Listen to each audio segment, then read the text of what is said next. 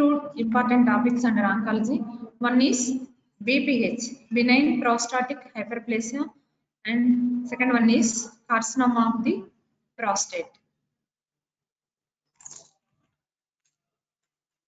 Before going to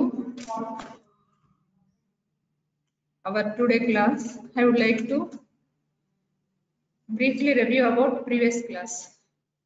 That is upper and lower GIT tumors. So few questions regarding previous class. Briefly. First one is what is Barrett's esophagus? Is it benign or malignant condition? And second one, histopathologically, what is the characteristic nature of carcinoma esophagus? And coming to the carcinoma of the stomach, what are all the various risk factors for the development of carcinoma of the stomach? And what is some medical management of the carcinoma of the stomach? What is 5-fluorouracil? Indications and contraindications. And next coming to the lower GIT tumors, that is small intestinal tumors. Under small intestinal tumors, important tumors are carcinoid tumors.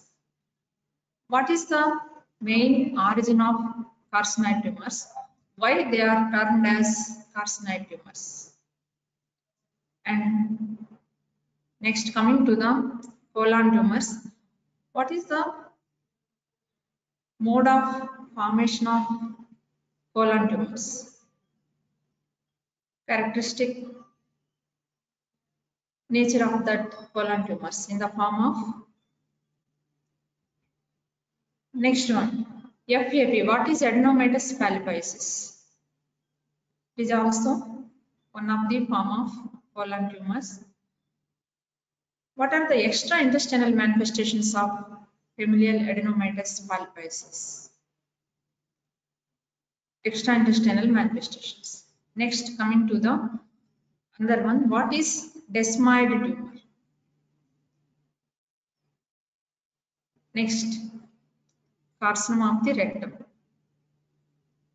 What is the main etiology for the fear rectum and what are the various risk factors? Next, coming to the what are the characteristic signs and symptoms of the carcinoma of the rectum? Characteristic symptoms. And next, what is Duke's criteria?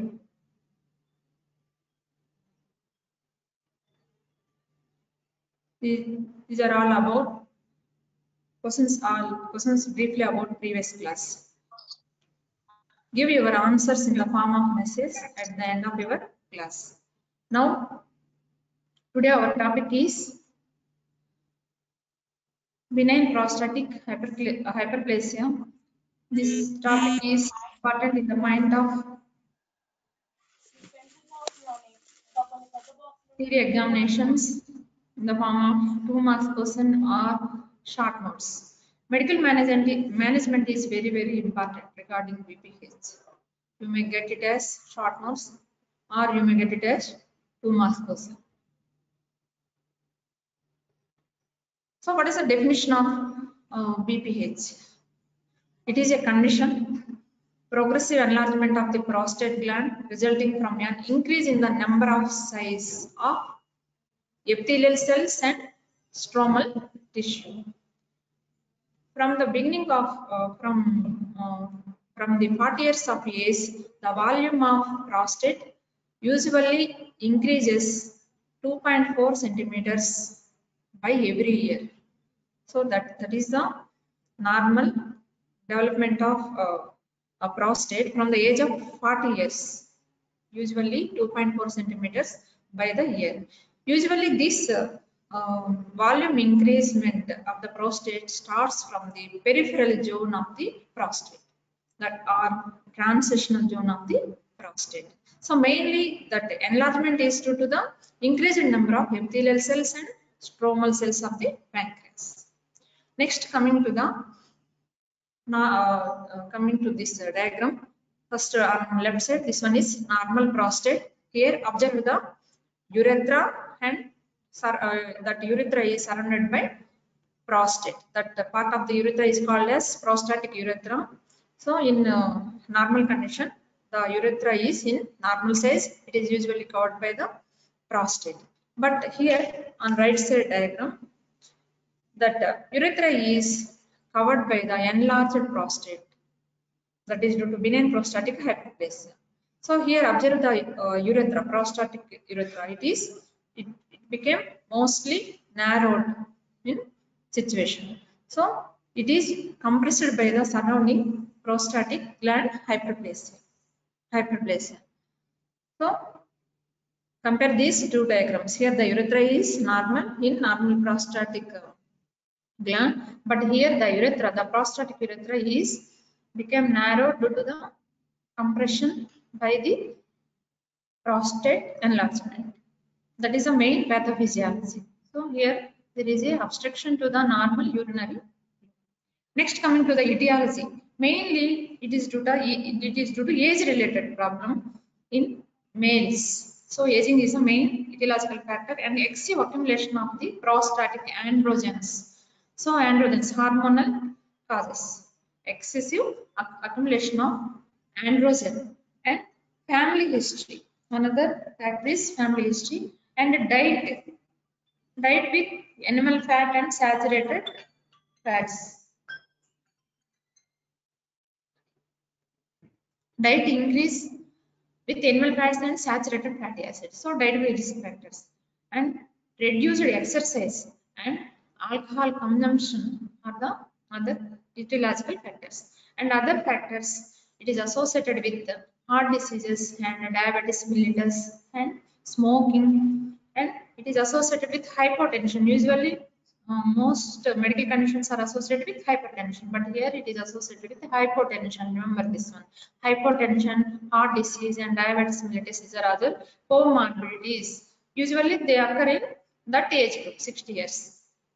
These uh, comorbidities are usually associated with elder uh, people. So these are all the etiological factors. So age and hormone hormones that uh, that are androgens excess uh, accumulation and family history and diet under diet animal fat and saturated fatty acids consumption and reduced exercise and alcohol consumption next coming to the pathophysiology so under pathophysiology along with the uh, androgen levels there may be also increased estradiol levels may have a relationship to the prostate size among the men.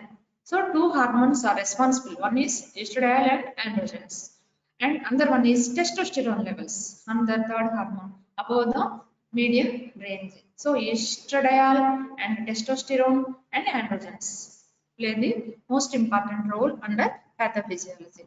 So hypertrophied lobes of the prostate usually obstruct the vesical neck of the vesical neck or prostatic urethra as already shown in the previous slide. So obstruction at the vesical neck or prostatic urethra causing incomplete emptying of the bladder and followed by urinary retention. So as a result, due to that urinary retention, gradual dilatation of the ureter leads to hydroureter due to the backflow of the urine leads to hydroureter and next hydronephrosis. These are all these are these two are the main complications according to that pathophysiology. And due to that urinary stasis, chronic urinary stasis lead to urinary tract infections may result from urinary stasis due to chronic due to prolonged phase due to the uh, stasis of that urine leads to urinary tract infections. Urine remaining in the urinary tract serves as a medium for the infective for the growth of the organisms. It acts as a medium for the growth of the infective organisms. So what are the various signs and symptoms of BPH? So these signs and symptoms of the BPH divided into two. One, uh, one is obstructive symptoms and next, uh, next one is irritative symptoms. So what are the various obstructive symptoms of the BPH? One is reduced force of the urinary stream, urine stream. There is a reduced, due to that obstruction, there is a reduced urine stream and difficulty in initiating the voiding and the intermittency and next dribbling at the end of the urination. So these are all obstructive symptoms. If you inquire the history, the patient usually told these, used to tell these symptoms. So this gives us clue to the diagnosis of BPH, dribbling at the end of the urination and difficulty in initiating the voiding and reduced urinary force of the urinary stream. So next coming to the irritative symptoms. One is frequency, urgency and dysuria and bladder pain and nocturia, excessive urination at the night and incontinence. These are all irritative symptoms of the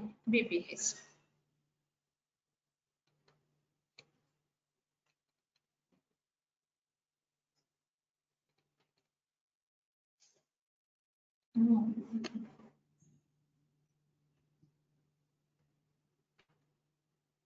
next coming to the generalized symptoms. First one obstructive symptoms and second one is irritating symptoms and next coming to the generalized symptoms of the BPH, fatigue, anorexia, nausea and vomiting and epigastric discomfort. These are all generalized symptoms. And what are all the complications of BPH? So due to that uh, obstruction, there is a urinary retention is the one complication and urinary tract infections due to the chronic stasis of the urine and next uh, renal stones are uh, in the form of uh, kidney stones and renal stones or kidney stones. Next bladder damage due to that uh, pressure symptoms of that uh, um, due to the excessive stasis of the urine and due to increased volume in the bladder leads to bladder damage and hydronephrosis and, and pyelonephritis. Final complication, hydronephrosis followed by pyelonephrosis. And how do we diagnose this BPH? By history and by physical examination.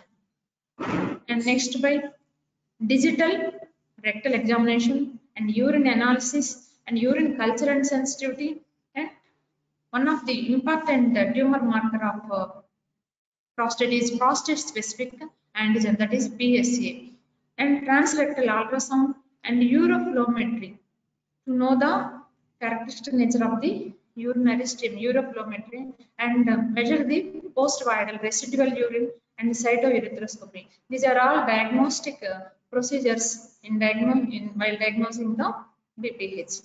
Next, coming to the blood investigations are performed because of hemorrhage is the main or major complication during prostatic surgery. So for that we have to exclude all clotting defects. A high percentage of the patients with BPH have cardiac or respiratory complications. So we have to exclude all those complications because elderly um, uh, patients usually uh, associated with uh, respiratory complications, diabetes mellitus, and cardiac complications, respiratory complications. So we have to exclude all those things by ECG and echo and chest X-ray DTG along with blood investigations. Next, coming to the medical management of the BPH. This part, this part of the BPH is very very important. So you may get uh, you may get the question in theory exams as what is the medical management of BPH. So you have to write all those things. The main goals of uh, this medical management is we have to rest, restore the bladder function. We have to restore the bladder function and relieve, relieve the signs and symptoms and prevent and treat the complications. Complications like hydronephrosis and uh, stones and all. We have to relieve that complications and we have to prevent that complication. The treatment of the treatment plan depends upon the cause of the BPH and severity of the obstruction and the patient's general health condition. So the treatment plan we have to decide according to the cause and severity of the obstruction and general health condition of the that patient. If the patient is admitted uh, in an, uh, on an emergency basis, we have to um, catheterize that patient immediately. So in an emergency, we have to catheterize the patient the, that patient is unable to void the urine so there is a huge distension of the bladder so we have to catheterize the patient immediately in emergency basis and decrease the amount of intake of caffeine is also one of the important advice we have to give to the patient. We have to reduce the intake of caffeine and artificial sweeteners and limit spicy and acidic foods and alcohol. We have to avoid all those aggravating risk factors. And next coming to the pharmacological therapy. So the main uh, etiology of the uh, BPH is hormonal excess. So excessive estrogens, androgens and testosterone. So we have to reduce those excessive hormone levels with the help of alpha adrenergic blocker and alpha reductase inhibitors. These are the two important drugs. This type of medications uh, are used to relax the smooth muscle of the bladder neck and prostate. The smooth muscle black is improve the flow and reduce the BPH symptoms. Name uh, what are the examples for alpha adrenergic uh, blockers are alfuzosin and tamsulosin. These are the alpha adrenergic blockers. What is the main uh, action of these alpha adrenergic uh, blockers are they reduce they they relax the smooth muscle thereby increase the free urinary flow. The main mechanism of action of these alpha adrenergic blockers are uh, alfuzosin or tamsulosin is is they reduce the or they relax the smooth muscle of the urethra. Thereby, it provides uh, free urinary flow up to 6 to 70 percent of the cases. That is the main advantage of the alpha adrenergic blockers. And next coming to the 5 alpha reductase inhibitors. The examples for this uh, alpha reductase inhibitors are finasteride and finasteride. Finasteride is uh, most important one and dibu, and next one is dutasteride like that name. So the mechanism of action of these alpha reductase inhibitors are they reduce the size of the uh, BPH or they shrink the size of the uh, benign prostatic gland. The prostate um, size is reduced or uh, the they it, it is slow the it is slow the growth of the growth of the prostate. It reduces the or it shrinks the um, prostate size. That is the main mechanism of action of the alpha reductase inhibitors. They shrink the mass. Alpha adrenergic blockers, they relax the smooth muscle. These are the two important actions of these two drugs. And next coming to the surgical approaches. They are divided into closed surgical approaches and open surgical procedures. Under closed surgical procedures, that is transurethral resection of the prostate. And second one is transurethral incision of the prostate or uh, thermotherapy. Thermotherapy. These are the two closed uh, surgical procedures of the BPH next coming to the open surgical procedures that those are suprapubic prostatectomy and retropubic prostatectomy and perineal prostatectomy these are the three important open surgical procedures under um, surgical methods so transurethral incision, not resection. By mistake, um, it was uh, typed by mistake. Here, the transurethral incision of the prostate or thermochemotherapy is an outpatient basis procedure of delivery of microwaves. So, this transurethral resection of the prostate is nothing but incision, not resection, is nothing but delivery of the microwaves directly to the prostate through the transurethral probe. So this usually indicated in whenever there is a tumor size is more than 100, 100 cm cube, then the procedure of choice is when the tumor is large, then the surgical procedure of choice is transurethral resection of the prostate by microwaves.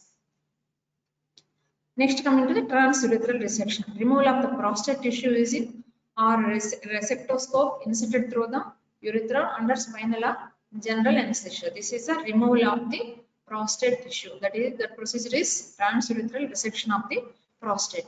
And coming to the open surgical procedures, suprapubic prostatectomy, and next coming to the perineal prostatectomy, next coming to the retropubic prostatectomy. So, and we have to advise dietary advice um, uh, uh, regarding diet management include we have to advise uh, fiber diet and easily digestible food to, to avoid this BPH and we have, we have also advised stool uh, softeners and avoid heavy alcohol intake and um, we have to advise weight reduction and we have to advise sometimes sexual intercourse. These are all the various preventive measures. So this is all about BPH. So definition and risk factors and clinical manifestations and investigations. Ne- Next, medical management and surgical management. Medical, under medical management, we have to advise two important drugs, alpha adrenoceptor, uh, and 5 alpha reductase inhibitors. You have to remember those two drugs. Next, coming to the prostate cancer.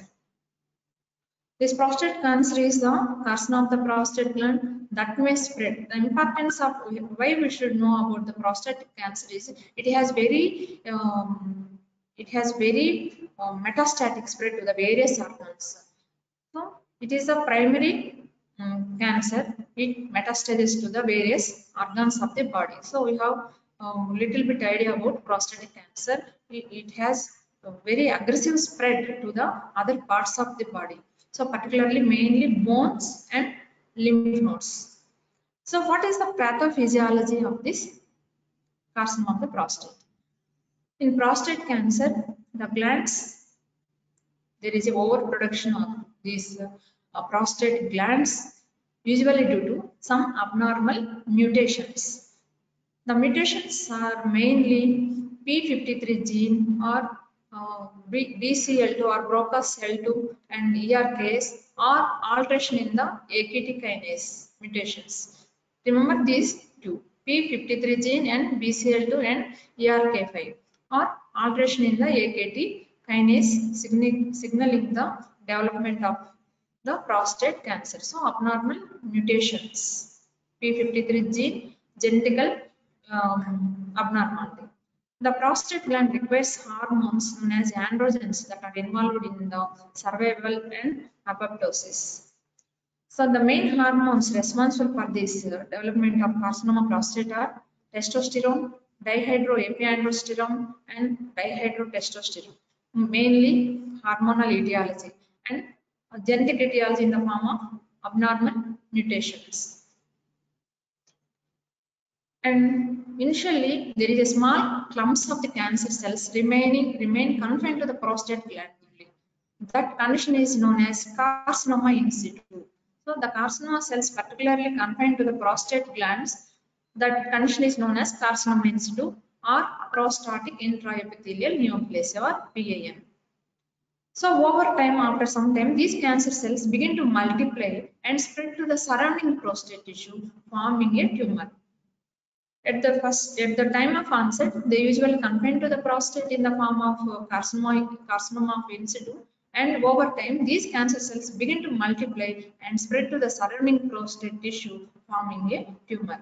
Eventually, the tumor may grow large enough to invade the nearby organs, such as nearby lymph nodes and rectum, and metastasis to the bone and lymphatic system and bladder. These are the major uh, organs where the uh, carcinoma of the prostate usually metastasis.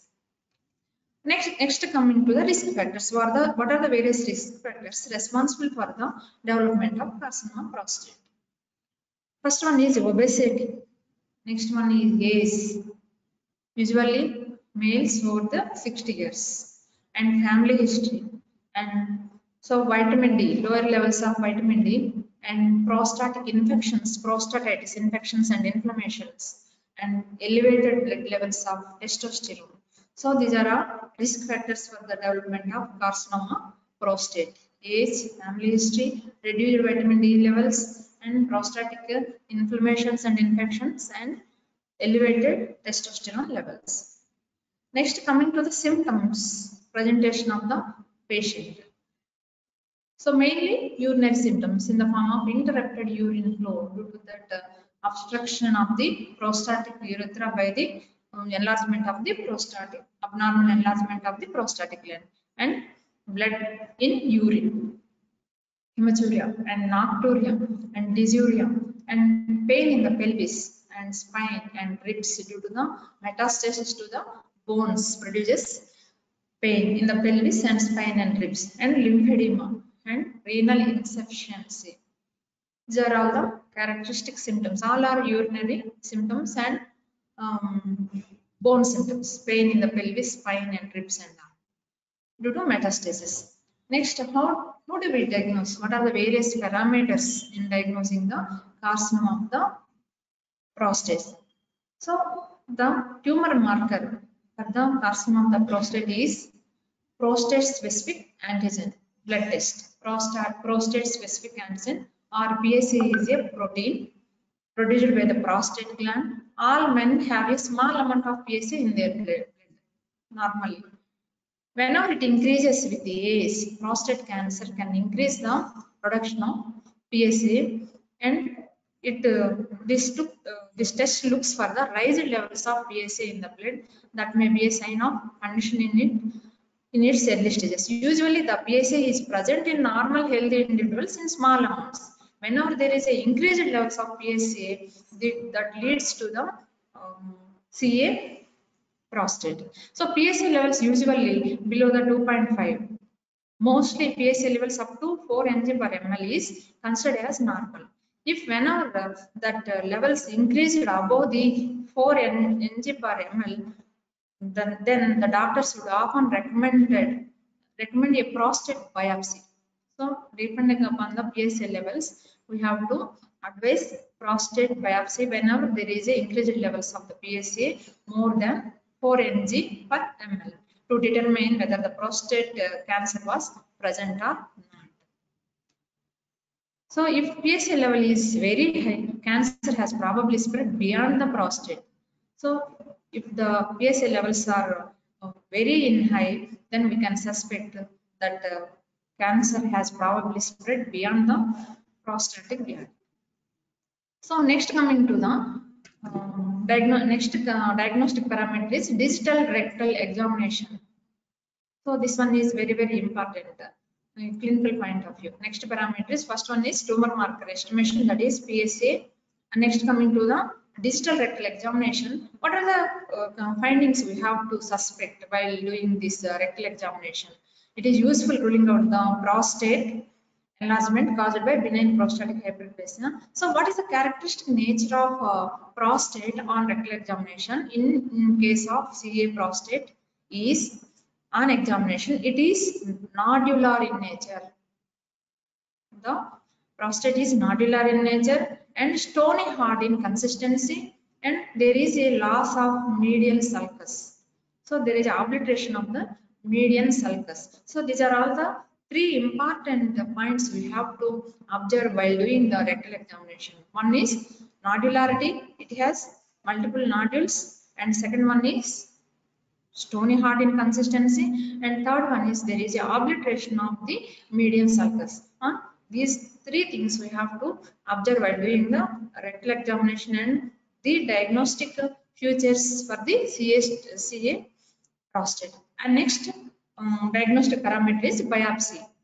This aid is the, this aid the diagnosis and help and determine the Gleason scoring. So the importance of the biopsy is the for the scoring for the scoring that scoring is called as Gleason scoring for the carcinoma of the prostate. What is this uh, Gleason scoring and what is the importance of uh, uh, by scoring this uh, biopsy material is to know the quickly spread and um, quickly nature of the cancer cells. Spread of the cancer cells. To know the uh, to see the how quickly the cancer will spread. So this is the importance of the scoring system. How quickly the cancer will spread is diagnosed by this scoring system. That scoring system is Gleason score. And to measure the now, depending upon the Gleason scoring system, if the score is usually uh, the low the score, the less likely the cancer will spread. If the score is 6 or less means the cancer is unlikely to spread. If it is a 7 means there is a moderate chance of spread. If it is 8 or above, there is a significant chance of cancer will spread. So to know the cancer spread, this is the, this one is the most important scoring system. Uh, next diagnostic parameter is MRI and CT scan to know the metastatic sites to assess the extension of the tumor into the bladder or into the lymph nodes and we have to stage that cancer depending upon the MRI and CT scan and and to evaluate the bone metastasis. And next coming to the treatment of the carcinoma of the prostate. First one is by surgical procedure, by prostate, prostatectomy, removal of the prostate. And second one is radiotherapy. First one is surgical and second one is radiotherapy. So radiotherapy is divided into two. One is external beam radiotherapy and second one is brachyradiotherapy. What do you mean by external beam radiotherapy? Means radiation directed towards the whole pelvis externally. And what is brachytherapy means? The radioactive seeds are placed in the body close to the tumor. So the radioactive seeds are placed in the body close to the tumor. That is known as brachytherapy or radioactive seeds. So radiotherapy is divided into two, two types. One is external beam radiotherapy and second one is brachyradiotherapy.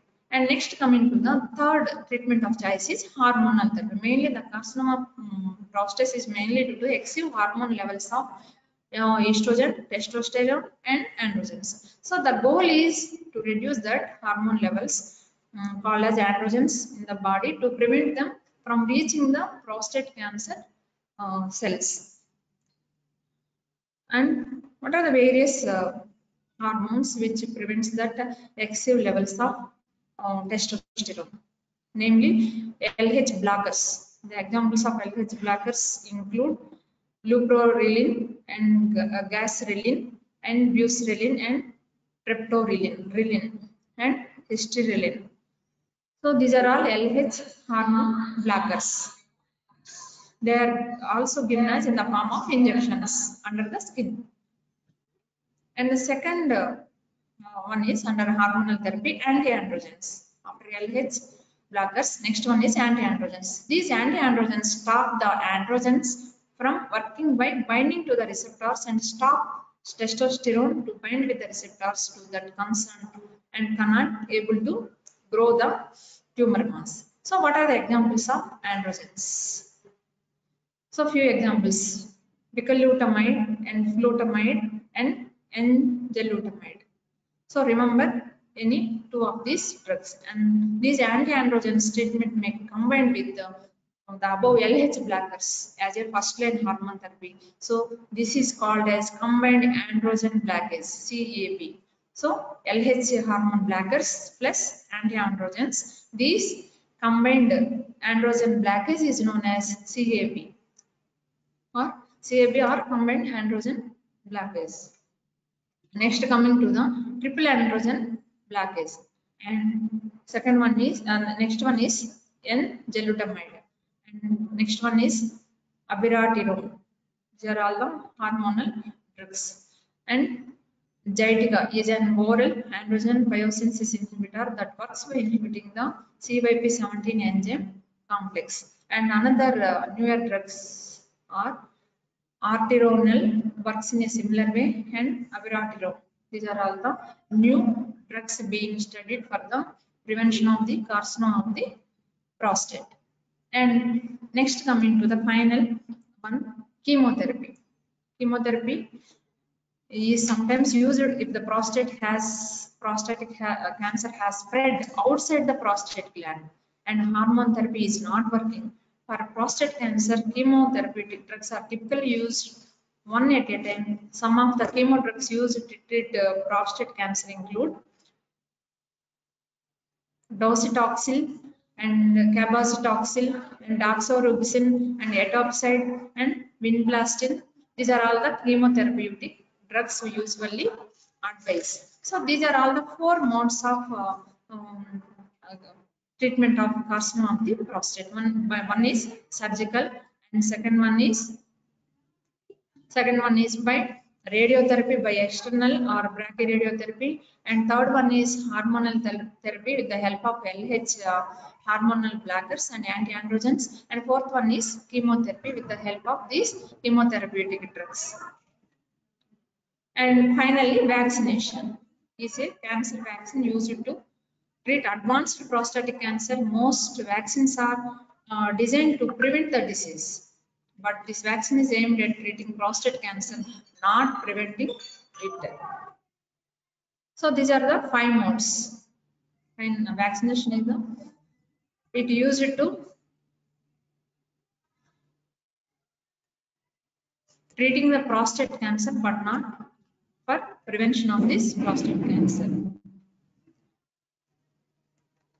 So this is all about management and management of carcinoma of the prostate. So BPH and CA prostate. Medical management is very, very important according to theory point of view.